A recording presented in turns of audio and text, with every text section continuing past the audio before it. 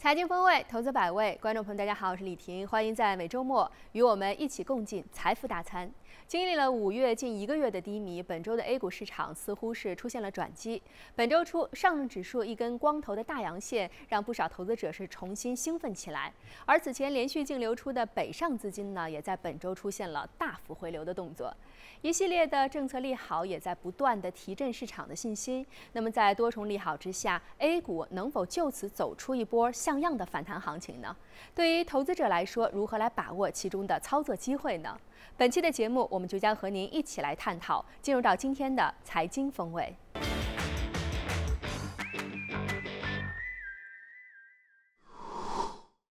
财经风味，投资百味。大家好，我是贝峰伟啊，欢迎大家每周末与我们一起共进财富大餐。我们将使您的投资像烹饪一样有趣，让财富充斥您的味蕾。同时，我们的节目在一财有看头平台，在我的互动平台上同步播出。欢迎大家每周末给我们更多的好的建议。两周没有与大家见面了啊，本期呢我们要聊聊节后的市场啊。那么节后其实还是有很多东西可以聊的。我们想通过节后关于北上资金呢大量的一些政策的讲话呀，可以给大家一个脉络，到底市场有没有突破？到底市场两千八百多点是不是一个底部？我们来做一个好好的剖析。跟我一起进入本期的财富大餐。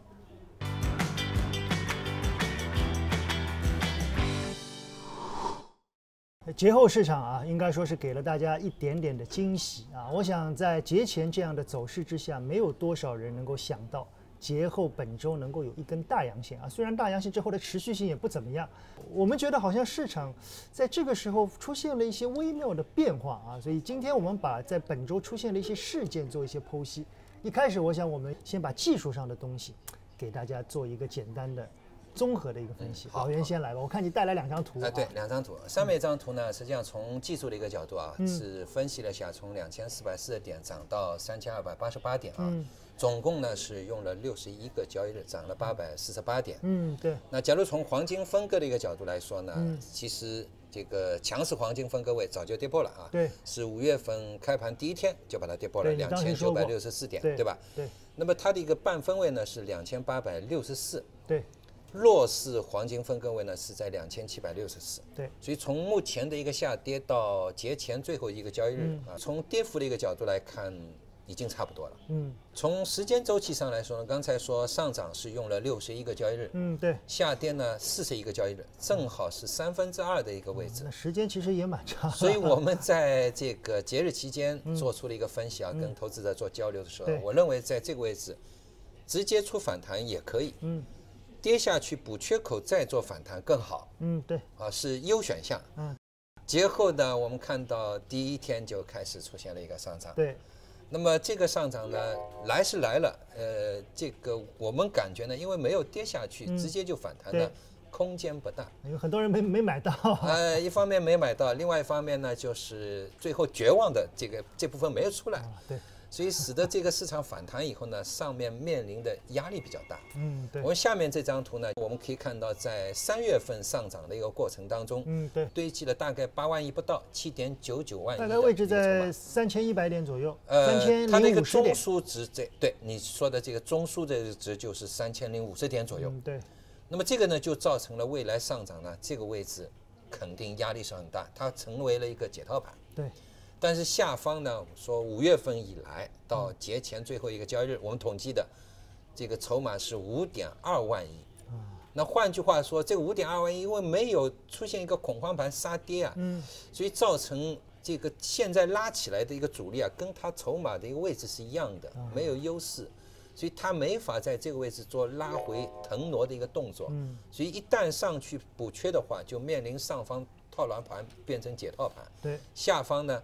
这个也是啊，就变成盈利盘，嗯，所以两个盘一夹击啊，所以我觉得暂时这个缺口的位置也许能碰，但是要想全部补去，嗯，很难。啊，我理解老袁的意思了。我我我我的这个题外之意，我听出来的意思是，要么就是要破啊，先破，让很多人出来，出来以后再上，那就一身轻了。那还有一种可能性，就是要慢慢慢慢的去耗这七点九万亿的筹码，每一次碰到再下来，碰到再下来，也同时把下方的五点二万亿的一个筹码往上移。啊，这也符合我们经常说的空间与时间啊，你不能两者兼具，对吧？你先有空间了，那么时间就短一点；没有空间呢，时间就要长一点啊。大家，我觉得这个分析还是非常透彻的，我们做一个参考啊。另外呢。本周我们不得不说一股资金啊，就是北上资金。北上资金在五月份就是五百八十几亿的流出，嗯，对啊，这是大概近一年来的最大的单月流出量。哎，就在所有人都觉得哎呀他们还会流的情况下，哎，突然间来了啊，连续好像七八个交易日啊，接近两百八九十亿的量，突然间杀回来了，这个回马枪有点。措手不及，小吴对北上资金，我们叫归去来啊这一块怎怎么说法？这一块，呃，其实它的回来其实也和整个的一个外围市场的一个反弹有很大的一个关系。另外的话，其实这次外资和内资的这样一个对手盘还是蛮有意思的，因为在他们流出的过程当中。是大量的抛出那些所谓的消费品种，嗯，对，但是被内资大量的接走，对对，所以我们看到在这一段行情过程当中，消费品种那些核心资产没有怎么跌，嗯，对，结果他们回来之后，那些核心资产，嗯，都接近了历史高点，嗯，对，啊，包括调味品啊，包括白酒啊这样一类调味品，所以现在市场的结构确实和过去不一样了，内资也在越来越，他们内资做的事情越来越趋同于外资。所以外资流出那些核心资产没怎么跌，嗯，结果外资回来的时候，核心资产又往上拔了一段。啊，对，在五月份的调整的时候，我发现啊，有一个比较明显的特点，就是如果光是北上资金流出一天二三十个亿，指数跌幅不大；如果你看到指数跌幅很大，你当天再去看，两融的杀伤力也很重，一天五十个亿，所以。北上资金流出二三十个亿，叠加当天两融的五十个亿，哦，这两个东西一相加，指数当天都是五十个点以上的跌幅。这这两个叠加呢是有一点啊，一个呢，我说那个北向资金啊，它主要是白马蓝筹，对，所以如果它流出，那白马蓝筹的日子不会好过嘛，所以对指数来说影响比较大。对，然后如果两融也是流出，它主要影响的是活跃的这部分股票，嗯，对，对人气上涨比较大。对。所以这两个如果叠加的话呢，自然指数就不会好看，非常的惨淡啊。两融刚才老袁已经提到了，小吴怎么看？两融现在关键是我对它的这个上限啊，我有点敏感，因为这一波两融最高是九千八百亿，现在是回落到九千零多少亿啊？那么现在的两融最高的五幺七八点，我记得是两万三千亿，嗯，很多人说空间很大呀，但两万三千亿时候呢，我们的保证金余额是三万两千亿啊。就散户当时有三万多亿借了两千多亿，两两万多亿。现在我们的保证金余额是不公布啊，但我看到有部分的券商的数据说是一点四到一点五万亿。如果是一点五万亿的话，那一万亿也很厉害了。你一点五万亿的钱要借了一万亿啊，所以小吴怎么看？嗯，其实呃，两融短期对于市场来说，它会有一个助涨助跌，这一定是。另外一边我们要要看到的，其实两融我们我应该把一个更长的一个格局去看这样一个两融数据，因为这次我们看到。新的这样一个证监会主席出来的一个讲话当中就提到，现在整个市场的一个杠杆率，相对于最高点，去掉八十了，对，去掉八十了，对，所以这其实，嗯，给我个人的感觉来说，整个 A 股层面未来加杠杆的空间是比较大的。如果未来中国的这样一个经济想要在整个结构性转型当中不断脱颖而出的话，形成突破的话，其实整个金融市场的一个繁荣是非常重要的。所以在这样一个大的一个背景之下，其实。现在又是正好处在整个股市杠杆率比较低的这样一个位置，因为毕竟已经经过了四年的这样一个股市的去杠杆，所以中长期其实空间比较大，所以更多把目光放在一些相对中长远的这样一个事情上。呃，所以从个人投资者来看，我们叫中大户的啊，五十万以上的可以建两融的，现在确实杠杆率也比较低啊。当然，我们在这里不鼓励大家加杠杆啊，但是如果你是比较长期的角度来看。这批资金慢慢慢慢，它往上再增加一些的概率也是比较高的。那我们本周还有很多事啊。我们第三个要说的当然是央行啊。央行在上周末有一个讲话，啊，讲话里面很重要的一句话说，我们对整个的工具箱子里面有充足的信心啊。这句话很多人说是本周大涨的很重要的原因啊，就是给了市场一颗定心丸。再叠加到上周。美国那边啊，又突然之间好像在货币政策上出了一个很大的一百八十度的转弯。然后我们看到全球其他地方都降息，大家就浮想联翩啊。再是我们的央行说工具啊箱子很多，降息还是降准，大家好像都等着嗷嗷待哺的样子啊。老袁怎么看？呃，确实啊，实际上本周开始的一个行情呢，我觉得跟去年十月份从政策环境、从基本面的一个角度来说，有相似的地方。哦。因为去年十月份的时候，我们也看到不断有高层领导、一行两会，加上这个甚至副总理啊，都出来对市场、金融市场喊话。那于是我们看到两千四百四十九点能成为政策底的一个行情起来一波。嗯，对。那到今年一月份的时候，两千四百四十点再起来。那么这次呢，我们可以看到在节前，包括呃节日的最后一个一个休息日的时候啊，我们可以看到也是一行两会。都出来说过话了，甚至在本周的第一个交易日，我们看到大阳线出来的时候，不就是拿出了一个小的工具，一个宝贝吗？嗯，对。那市场叭一下子起来，我所以我觉得目前情况下环境有点类似，嗯，而且从本周公布的一些经济数据来看，你说差吧，我觉得不是很差。老袁正好说到这里，那我就提问了啊，我我们后台我互动平台上有很多的人问。你们都说这个要要要有货币动作了啊？对，说和去年年底很像。我现在提一个问题，就是很多个个人投资者问的啊，二点七的 CPI，我 CPI 可是高喽，符合预期。你觉得符合？因为实际上从统计局披露数据的时候也说了，市场原来预计就是本月是二点七，对，符合预期。同时呢，我们发现这次二点七什么造成的呢？鲜菜、水果。加上肉类，对，但是从六月份开始，大家都知道，水果供应量充足了，对，水果的价格开始回落了，对，蔬菜的价格也开始回落，对，肉类，这个猪猪肉的一个价格，尽管没有看到有大的一个回落，嗯，但是大家都知道，我们的习惯就是进入六月份，天气开始热了，要吃清淡的东西了，所以我觉得确实。有部分投研说，今年这个二点七可能已经是 CPI 的一个最高点啊，我不是最认同，但是我觉得近阶段 CPI 的高点可能已经出现。老袁这个说法来看，六七月份反而是一个比较好的动用货币工具箱的时间啊，我觉得有可能，如果七月份看到看到 CPI 的数据平稳啊，我们也不要它大降啊，平稳的话。可能就是一个动用啊，如果是这样的话，市场会有个预期。小吴怎么看？呃，其实工具箱这三个字，我认为非常重要。嗯，工具箱。对，工具箱这个三个字非常重要。它的一个潜台词就是，办法总比困难多。这次我们看到使用了一个，是整个财政体系当中对专项债这一块。对，其实专项债的一个潜台词是什么呢？它到九月份要把今年的专项债都给发放完啊。也就意味着未来，因为专项债它是要纳入到整个的这样一个社融数据环节的，嗯，也就是说六到九月份的社融数据会变得比较漂亮。如果再叠加到央行这时候再动用工具箱里面什么样的一些工具，其实整体的一个相对宽松的一个环境又再次做了这样一个营造。嗯，今天我们的这个财富大餐聊了很多啊，我想最后大概达成一个预期，就是在两千八百点这一线，无论未来破不破，这个位置。应该好像是蛮舒服了啊。是向上呢，老袁刚才给了我们一个很重要的数据啊，三零五零点七点九九万亿啊，那么大的马蜂窝不会一次性过的啊。我觉得过了以后也要回来。我们希望用不同的方式去过。当然，从操作上来看，可能很多股票和行业轻舟已过万重山，所以在操作上你可以略微的轻点指数啊，两千八九百点不用太担心。对行业上可以跟随北上，也可以做点题材。我希望这样的一个操作，可能是在未来的一两个月最有帮助。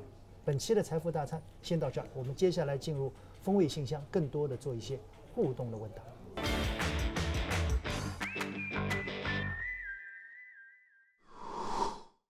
进入本期的风味信箱啊，由于时间比较长啊，所以有很多的互动问题，我们摘取了一些我觉得比较有共性的做一些解答。第一个问题是关于五 G 的啊。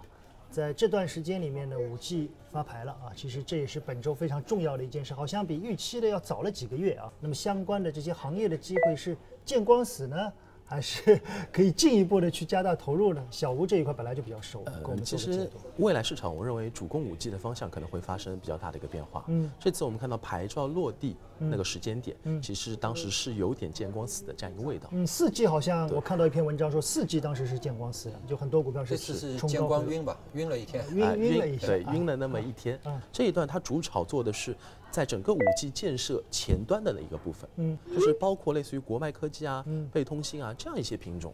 他们其实是在整个五 G 建设当中最前前置的那一个环节，对，所以他们是率先得到市场资金的一个关注。但这一部分资金是短线资金，如果要对机构资资金形成非常大的一个吸引力的话，我认为五 G 更大的空间、更广阔的空间还是在五 G 的应用环节，因为应用当中我们能想出非常多的品种，包括 AR、VR，包括车联网、无人驾驶啊。包括我们现在看到最火热的一个叫云视频、云通信这样的一个环节。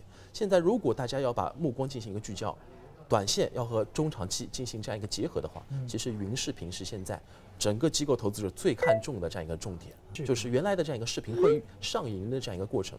如果再叠加未来的这样一个五 G，它的想象空间会非常大。这当中类似于啊梦网啊，类似于二六三啊，类似于汇畅啊，类似于易联啊这样一批品种，其实在整个市场当中，他们是显得非常强势的。所以如果要看的话，云视频毫无疑问是现在整个市场科技当中的一股非常重要的一个潮流。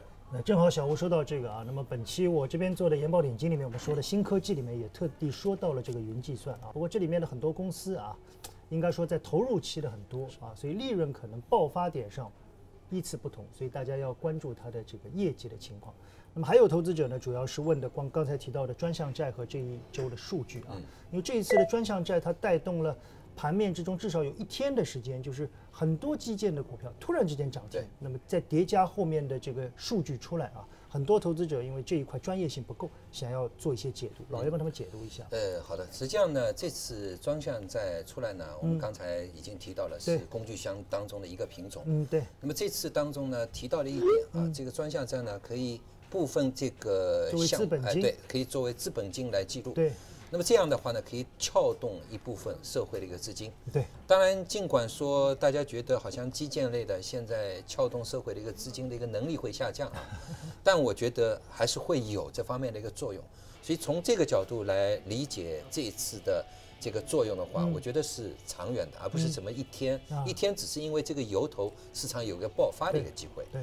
那么此外呢，本周还公布了许多这个数据啊，包括什么？刚才 CPI 说过了，PPI 呢里面呢，我觉得是大家要注意的。PPI 的里面呢，有一点，这次呢是同比是零点六，但是环比呢，不要忘了它增长了零点二，而这个这些企业上游采购的，是跟前一个月是持平的。嗯。那换句话说，也就是说，企业我生产了一个产品以后，我对下游有议价能力，我愿意提价了。所以从这个角度来理解的话，那我觉得五月份的一个数据啊，可能要比前面几个月的一个数据，可能有微幅的一个增长。那么这个我们要等待下一个月啊，这个公布相应的一些数据再来看。呃，老袁的这个数据解读还是非常好的啊。我我也给大家做个补充，从这一次的整个收容的信贷的数据来看。居民的这个贷款是有所上升的，企业的贷款呢是短期上升，长期偏弱。大家可以想象啊，就是大家好像有点想要开始拿一些货啊，做一些生意，但是好像对长期呢又有点吃不准啊。所以这个时候，我想其实是很需要政策上给予信心上的支持。所以这一次的包括专项债的很多时机，我觉得选择上还是非常好的，可能对三季度会有比较好的。企稳回升的情况啊，大家可以看一下。那么在这里呢，我们也这个专门给大家了一个福利啊，在我的互动平台上，大家回复关键词“新基建”，我们把基建的相关的一张表给大家啊。这个里面的许多公司呢，是重点的做基建的企业。那么在这次专项债里面，应该这类企业是更受益一些啊。当然，短期涨上去了以后不要追啊，中长期的做些关注。我这里的互动呢，大家问的更多的是中报啊，特别是对最近涨幅很好的消费品里面的。食品，特别是问到了海天啊、恒顺畜业，那我简单的看了一下中报的预期啊，从今年中报的预期来看，整个增速可能不会太好。那我们大概选了啊，可能比较确定的就是消费品，所以我认为这类品种目前的估值是不便宜的，比如说海天味业。但是我建议很多投资者，如果已经持有的人，我建议你继续持有，持有到什么时候呢？持有到中报披露。一般这类企业的上涨，它会有一个。漂亮的 ending 啊，这个 ending 往往是由业绩发的，所以我相信海天味业也好啊，等等也好，它可能在这一轮的上涨里面，最后是有一个业绩的大幅度的上升。等到业绩曝光的时候，你可以逢高做一个波段啊。我们的建议仅供参考。本期的风味信箱就到这里。边学边赚研报点金购买指南，下载有看头 APP，点击进入首页上的课程栏目，下拉找到边学边赚研报点金，猛戳购买，就可以收获财经男神边锋伟为你度身打造的课程。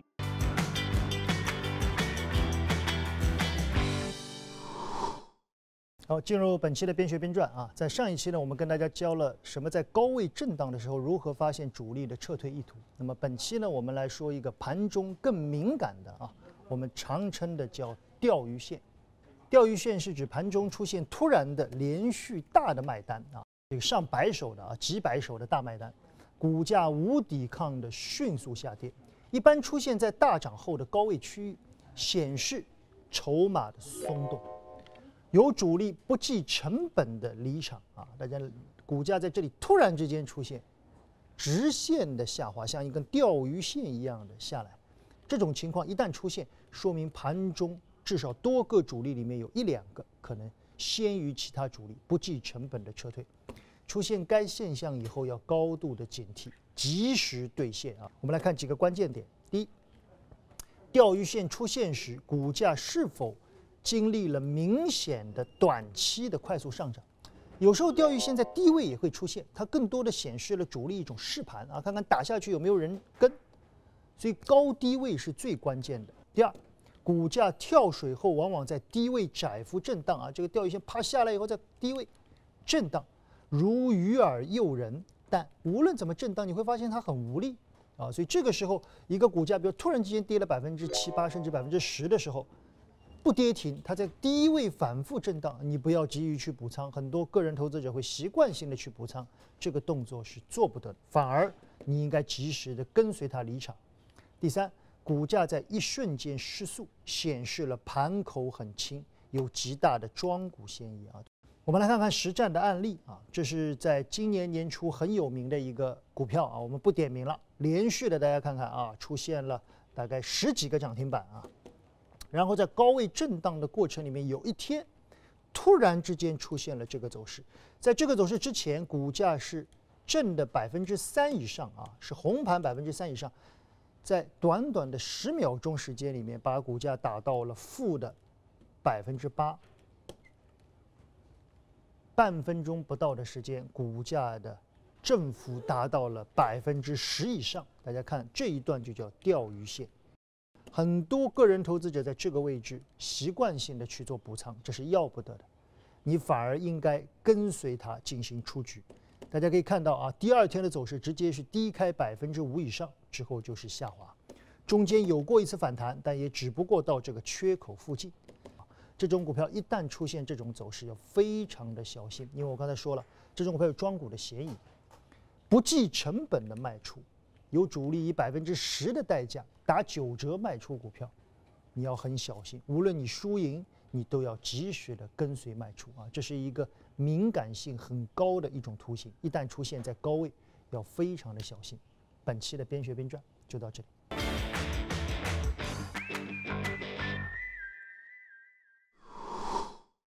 好，本期的财经风味就到这儿了啊！我们聊了市场的很多，我想最近的这个市场呢，指数我们不期望它马上高歌猛进，但我认为市场的操作机会和风险来看，要比五月份好很多了啊！本周还有一件事我们没有谈，科创板似乎厉兵秣马，马上就要开了，我们在下一期的节目里面专门来谈一谈科创板开出来以后，到底要不要打新，要不要买基金，操作上到底怎么样，我们再来聊一聊科创板。